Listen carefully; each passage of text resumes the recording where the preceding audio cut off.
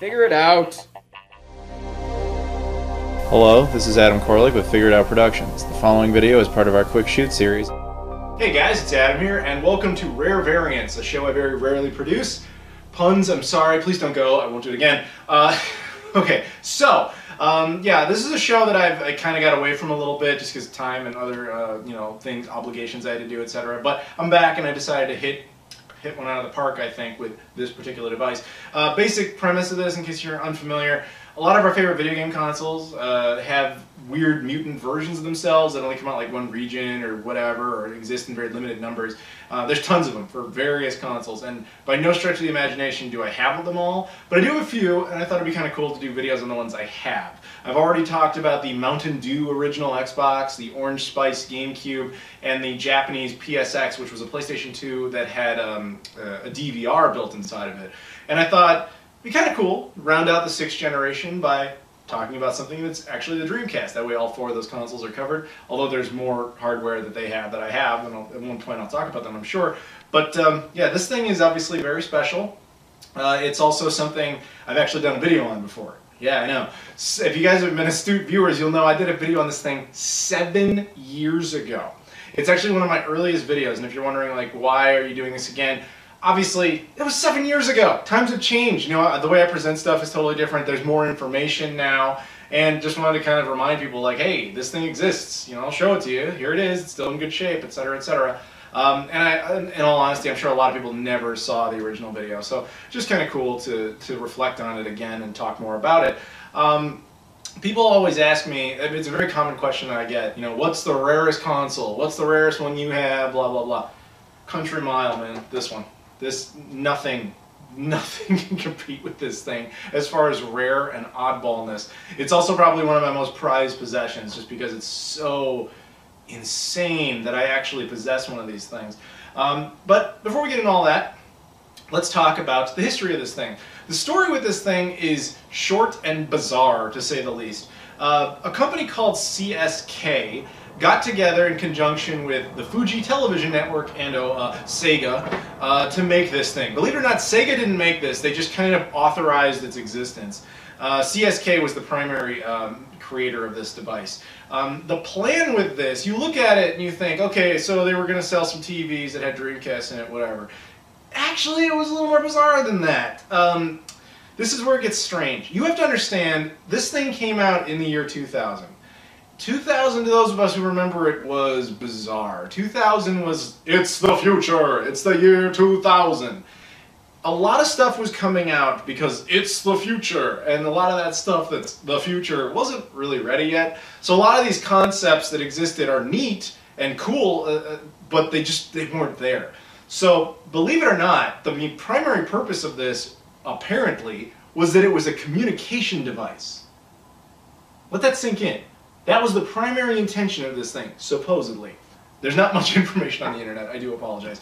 This thing is, there's just not much info out there. In fact, if you look it up, my original video is like one of the first things ever about it. It's like the first review on the internet. If you go to YouTube, there's only two videos of this thing that are older than my first video, and they're both like a guy is playing it for a minute and a half, and another one is just a collection of photos of the thing in video form. I have the first review on YouTube of it. Um, my point there, though, there's just not much out there, and everything I've ever read about it kind of leads in that direction. Even the official press release on this thing is kind of vague as to what they really wanted, but it seems like, based on what I have read, communication. That's what they wanted. And you're like, okay, well, how does that make sense? Well, how is it a communication device? Well, the plan supposedly was that you everyone's going to buy one of these things. It's going to be super popular. Everybody's going to have one. It's going to be really cool. Uh, and it's going to come with this keyboard, and it's going to come with this uh, software, which is actually um, compatible with this. This is a webcam, and it's got a controller, and it's got a microphone, it's got a headset. When you combine all these things, along with the fact that it has a built-in modem, what I'm essentially telling you is this is almost like a really early physical version of Skype. That was kind of the idea, was everyone's going to have one of these things in their home, they're going to rig it up, and every day they're going to be able to talk with their friends long distances, etc. Through the magic of a visual telephone. I know that's laughable now, but back then, that's the future. Seeing people. You go back and watch like old episodes of The Simpsons where they project what the future is going to be like. It's always like, oh my god, we can see people while we're talking to them. this is the the future. That's the only way to put it. Um, yeah, so obviously to give you a, a, little bit more value for that, it's a fully functional television. Uh, it has a Dreamcast built in.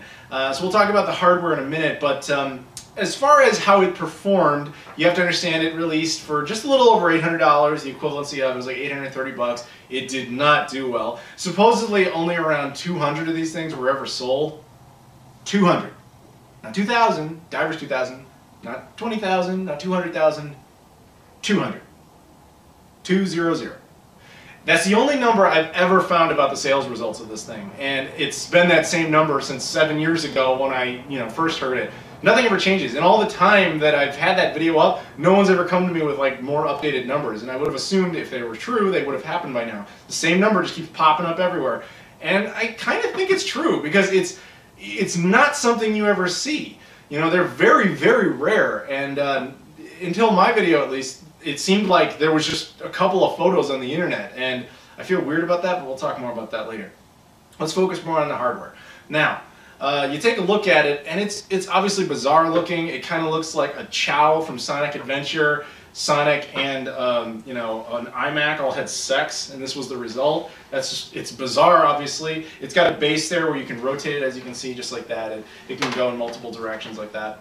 Um, and on the top is where you put the Dreamcast games. There's a, a lid here, and uh, inside you put the game. Now, the device is Japanese region coded, um, but it's able to read MIL CDs. What that means is you put a Japanese game in there, it's going to run just fine. You put in an American or European game, it's not going to boot unless you put in something like Codebreaker, which is you know, a device that allows you to play imports. Uh, it'll play your burned games, which I don't recommend, and it will play, you know, the independent games. So ultimately, it'll play all the Dreamcast games. There's just a couple extra steps that are potentially necessary.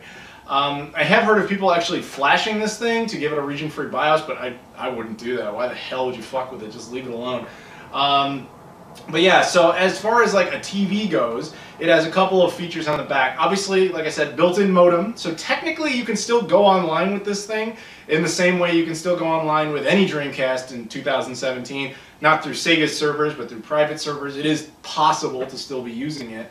Um, it has RCA audio out, so if you're, the, it has two speakers on the front here, and if you find them insufficient, uh, it allows you to connect them to a, a, different type of sound system. It has RF in, uh, for use was intended for broadcast television, but you could also connect things like a Famicom or whatever, any kind of RF device. Because the Famicom is a Japanese console, this is a Japanese television, it actually works a little bit more easily than say playing a uh, Famicom in North America where our channel systems were a little different. Um, it has composite in, which allows it to play things. I'm sure at the time they were thinking DVD player, VCR even. Uh, you could connect a Dreamcast to it if you really wanted to through composite. Um, that is certainly doable.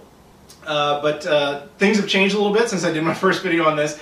At the time, uh, the radio waves still existed for the purposes of broadcasting television, standard definition television. Meaning, if I connected uh, a television, like a, a, television link into the uh, RF cable, you could get all the channels. In fact, even without it, I remember turning it on and it would have some basic broadcast channels it was picking up just through the magic of antennas. And I don't think these, because these are purely cosmetic, they're just plastic.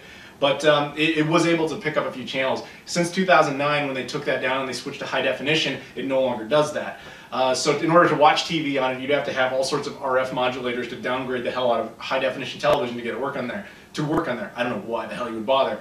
Um, it also has this. The part about this I have never figured out is it has a MIDI in and a MIDI out port. MIDI, I don't know much about it because I'm not an audio guy, but I know it has something to do with music. And the press release for this thing even mentions like it has MIDI ports for music, but that's all it really says. There was an official Dreamcast MIDI cable released. I own it, but I don't think it has anything to do with this. I don't think that they were in any way correlated. I think it's just a coincidence. But uh, yeah, it has something it can do with MIDI cables. Uh, and it's got a hardwired power cable, uh, which you can use in North America. Um, you cannot use in Europe unless you have like, you know, uh, step-down converters and all that stuff. In North America, you could just plug it straight in and have it work, but it's recommended to have an, a, a still use a step-down converter, which I actually have it connected to currently, so you're going to see it turn on in a second. Um, but yeah, so that's it for the back there. Uh, I guess now it's time to turn on. Now you'll see uh, down up here, there's four buttons, and down here there's four controller ports. Uh, controller port 1 is currently connected, the other three are not. Now up here you have all the buttons for the interface. Uh, the one on the right here, well, uh, over here where I'm touching it, which is to, to you, is uh, camera left. Uh, that one turns the device on, which takes a minute to boot up. Then there's three more. Uh, this one is the uh, button that allows it to switch interfaces. The first one you saw there was RF. This is composite mode. The next one is Dreamcast mode, uh, which you noticed didn't actually do anything yet. The next button here is to switch between, uh, the, to increase or decrease volume, and this one here is to switch channels, which doesn't really have a purpose again because we're not using it as a television. Um, but if you want to get into Dreamcast mode, there's two ways to do it. You press this button, and sometimes you just cycle. Sometimes it'll just turn on, and other times it won't. Uh, in order, the more reliable way, and I, this is a stupid ass design choice, uh, is if you have the remote control, there's a TV CX button. Now, you basically would take it and you press it until it cycles through, and you can see now it says Divers 2000 series and it's like booting up, right? Uh, so I've already got a game in there I actually popped in, in almost paying arrogant homage to myself. I'm putting in Sonic Adventure because that was the same game I had in there originally when I did the video seven years ago. Now, it's uh, it'll boot up, as you can see, works perfectly fine. Uh, it's going to present me with some sort of message about needing a memory card, I think, because there's not one in the controller currently. Uh, skip past that, and uh, you'll see it in action a little bit here.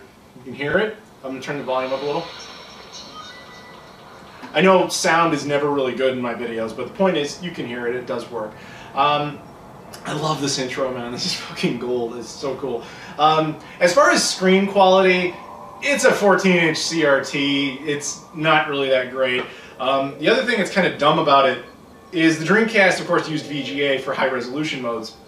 This doesn't in any way, shape, or form take advantage of that. Because of that, it can run non-VGA compatible games, but they don't look very good. Uh, it also, I double checked this, it doesn't run games in RGB, it doesn't run games in S-Video. That's a straight composite pass-through, which is unfortunate.